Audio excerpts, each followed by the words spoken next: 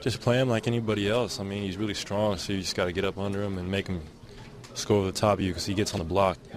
It's almost an automatic bucket for him. Ah, man, limit their three-point opportunities. They've been killing people the last three years with the, the three ball, and the, us and them probably been the best in the league at it, and that's why we're here. So they they got great one-on-one players, but you got to make them beat you one-on-one.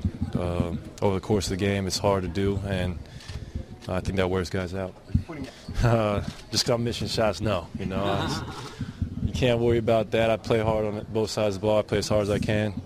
And um, even when I'm missing shots, it's one thing I control is my defense. So I try to be effective, even if it looks like I'm effective out there. Nine days off, so when you got that much time, you should be focused. You should be sharp as far as game planning.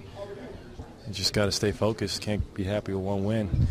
This feels a lot like last year. You know, we went up 2-0.